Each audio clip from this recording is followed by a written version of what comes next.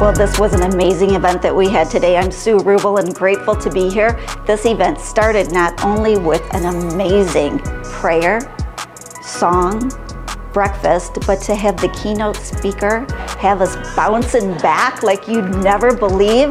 I am grateful to Shay. I am grateful for the women in technology and I am grateful for the women in banking. Thank you for having this event today. Helping career women like yourselves bounce back from setbacks with strength, courage, and wisdom. I'm the chair of the Michigan Women's Forum and excited to have Lisa Howze participate in today's Women in Banking Empowerment Breakfast. She did amazing. I was blown away just by her testimony and her story. I am strong. I am strong. I am courageous. I am courageous. I am wise. Somebody say courage. Courage.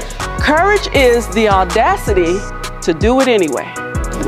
I am so happy to be here at the Women's Forum Empowerment Breakfast, just to be surrounded by such amazing women. Lisa Howze, her words um, of encouragement, everything, just uplifting everyone in that room.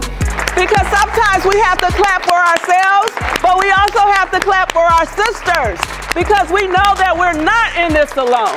We're in this together. And I've had the pleasure to uh, witness greatness in, um, in every way, shape, or form, and that is Lisa Howze. Whatever you want to achieve in life, write it down.